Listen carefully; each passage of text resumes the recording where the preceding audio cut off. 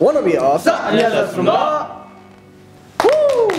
네, 저희 아스트로가 굉장히 중요한 소식을 들고 왔습니다. 그것은 바로 은우 씨. 네, 바로 저희 아스트로가 12월에 The ASTROAD to Seoul STAR LIGHT가 개최됩니다. 캐치를 하는구만. 네, 밝은 별빛의 아스트로. 네. 어, 그리고 밝은 희망의 빛 아로하가 함께하는 콘서트. 예.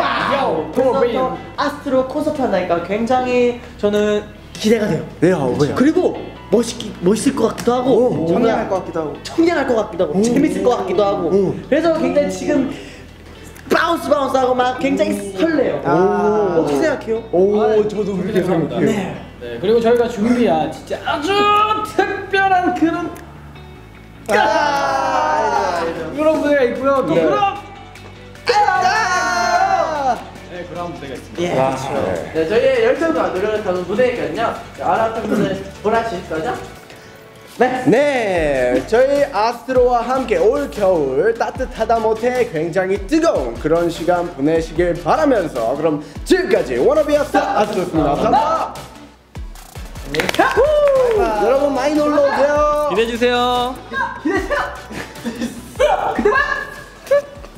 감사합니다.